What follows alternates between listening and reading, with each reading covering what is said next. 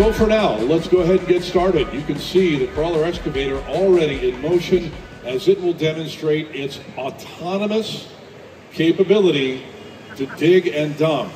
And again, this is based on enhanced machine learning. We talked about the technology that is used, and you see on the screen the live onboard camera as it makes the move.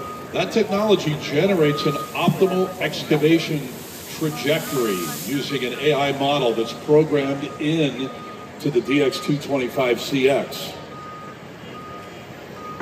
It uses real-time terrain recognition technology, and that's based on information coming from its LiDAR sensors.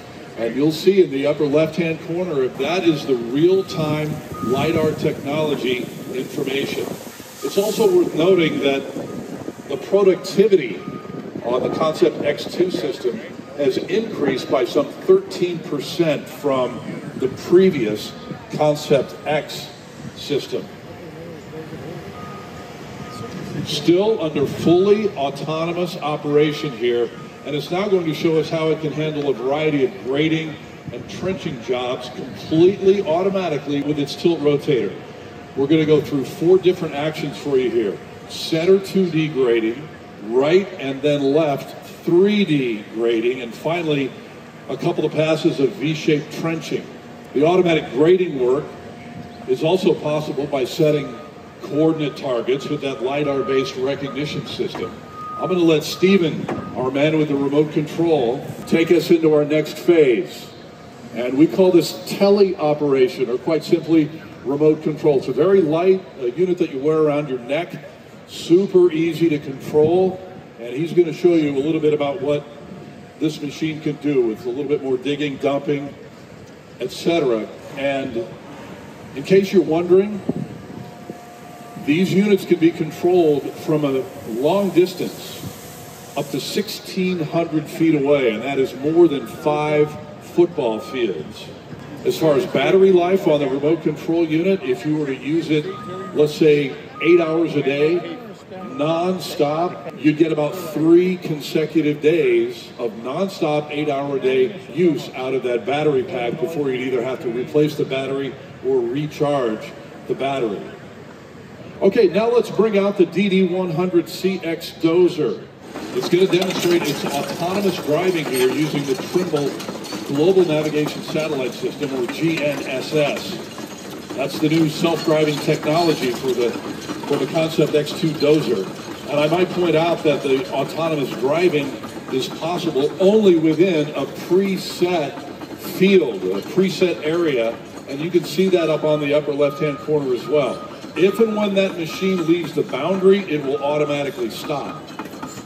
And keep an eye on the blade as well. Uh, it's going to demonstrate its blade control abilities, and that's made possible with an electro-hydraulic system, and again, that Trimble GNSS system, which is using IMU sensors, and that helps keep the blade as close to the surface as possible, no matter what the orientation of the dozer is. It makes it very easy to level the terrain. Okay, now you see the 350 LCR coming into the picture in the background.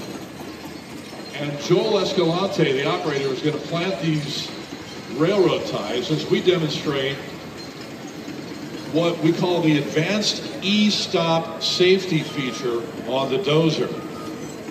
The rear of the dozer has a wide angle sensor and it automatically detects an obstacle behind the machine. Again, this is in autonomous mode. And whenever it senses an object in the back, whether it's railroad ties or a person or whatever, just like you saw, it will automatically stop. And we call that e-stop. That's a part of this DD100CX dozer. And we're going to have Mr. Hong come out with the remote control on the dozer and show you a little bit more about what it can do. Very, very similar to the remote control capabilities on the crawler excavator. Uh, driving, blade use, the ripper operations, all of this can be performed 100% by remote control as well as with the autonomous operation.